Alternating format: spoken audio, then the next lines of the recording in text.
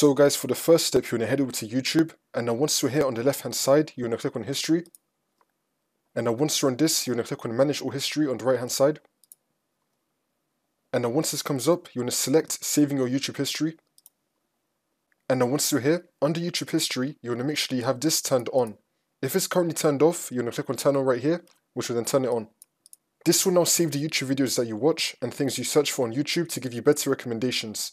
It will also remember where you left off and more. You've also got some subsettings right here, which will then include the YouTube videos that you watch and include your searches on YouTube. It can also include your YouTube voice and audio activity. It's up to you if you want to select any of these. Another thing you could also do is head over to search and type in www.youtube.com forward slash feed forward slash subscriptions. Click on enter. It will now take you to your subscription page. It will show all your subscriptions right here. If you want, you could also bookmark this so let's say from now on in your bookmarks, you could just click on subscriptions and it will take you right to your subscriptions page.